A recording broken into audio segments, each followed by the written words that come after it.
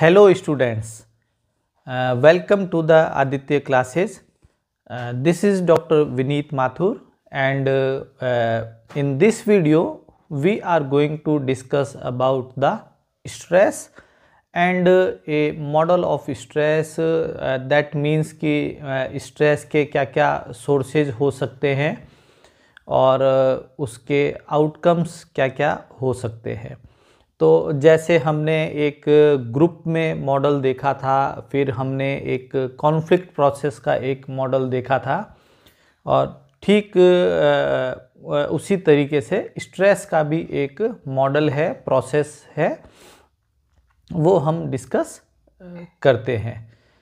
तो let us start about what is stress and what are the main reasons और उसको manage कैसे करना है।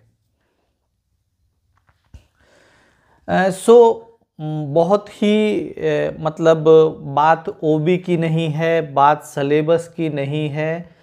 ये चैप्टर आप मान लीजिए कि बात हमारे और आपकी लाइफ की है कि स्ट्रेस एंजाइटी डिप्रेशन और इन सब चीज़ों से जो है वो रूटीन डेज़ में हम सब का कभी ना कभी सामना होता ही है। वो कुछ भी हो सकता है कि लॉकडाउन के बाद में कोविड लॉकडाउन के बाद में इकोनॉमिक कंडीशंस जो है, वो कंट्री की इंडिविजुअल की, सबकी जो फाइनेंशियल पोजीशंस हैं उन पे कोई ना कोई इम्पैक्ट आया है। या फिर आप मान लीजिए कि कुछ समय तक हम लोगों का घर से निकलना भी बंद हो गया था तो वो भी काफ़ी स्ट्रेसफुल टाइम निकला। पूरे वर्ल्ड में ऑल ओवर द वर्ल्ड चाहे आप ट्विटर को ले लीजिए मेटा जो कि फेसबुक है उसको ले लीजिए पेटीएम ले लीजिए, जो भी वर्ल्ड लेवल पे कंपनीज़ हैं माइक्रोसॉफ्ट है, उन सब में ले ऑफ़ चल रहा है। कब किसकी जॉब चली जाए तो वो भी कुछ स्ट्रेस का एक रीज़न हो सकता है। जो प्राइवेट जॉब में हैं, उनको हर समय जॉब सिक्योरिटी को लेके वैसे ही स्ट्रेस रहता है।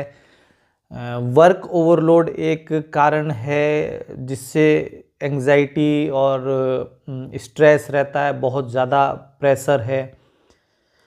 तो बहुत सारे रीज़न हो सकते हैं जब वर्क ओवरलोड होता है और अगर हस्बैंड वाइफ दोनों जॉब में हैं उस केस के अंदर जो है वो वर्क लाइफ बैलेंस करना भी थोड़ा सा डिफ़िकल्ट होता है। तो इन सब बातों से सम हाउ मुझे लगता है कि आप स्ट्रेस को कुछ समझ पाए होंगे।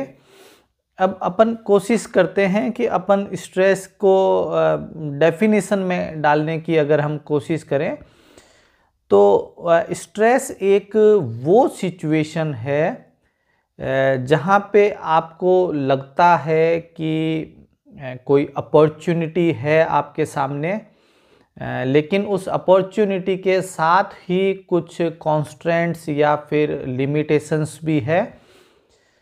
लेकिन जो आउटकम है, लेकिन जो आउटकम है, वो आपकी डिमांड है।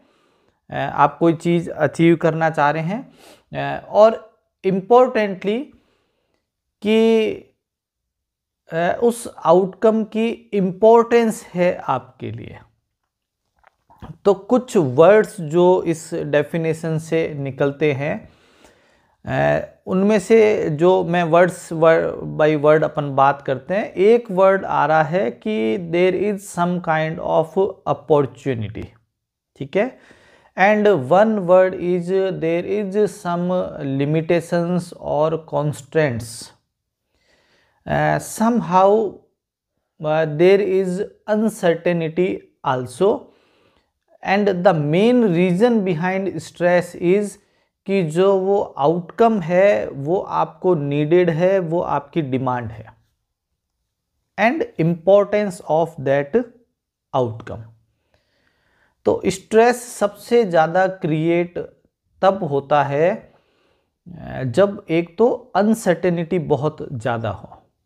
और एक वो जो आउटकम है, जिसके लिए आप, कोशिश कर रहे हैं, जिसके लिए आपको लग रहा है कि अपॉर्चुनिटीज़ हैं उस आउटकम की जितनी ज़्यादा इम्पोर्टेंस होगी, उतना ज़्यादा जो है वो स्ट्रेस के ऊपर इम्पैक्ट आएगा।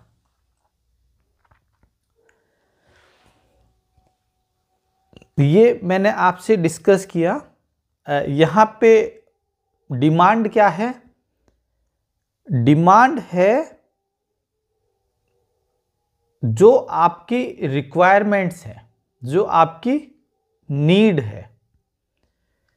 दूसरा कॉन्स्टेंट्स मतलब आपकी लिमिटेशंस जो हैं वो। और एक है आपकी अपॉर्चुनिटीज़ अब जैसे फॉर एग्ज़ाम्पल आपकी कंपनी में परफॉर्मेंस अप्रेजल होने वाला है नेक्स्ट वीक या नेक्स्ट मंथ आपकी कंपनी के अंदर अप्रेजल जो है वो ड्यू है पेंडिंग है।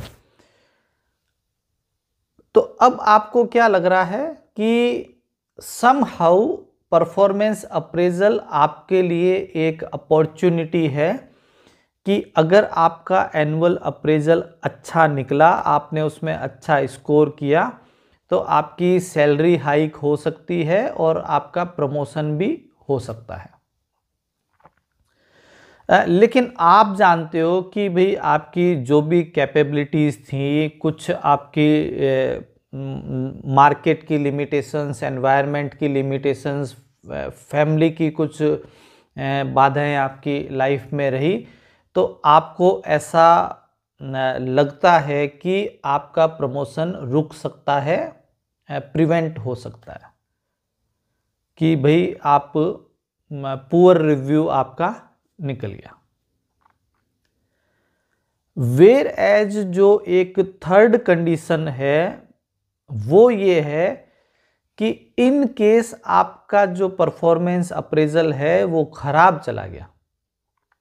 नेगेटिव मोड के अंदर वो ख़राब चला गया।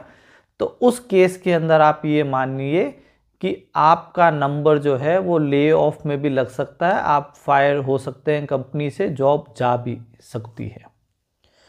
तो तीनों चीज़ें हैं जो एक रीज़न बन सकती हैं स्ट्रेस को क्रिएट करने की।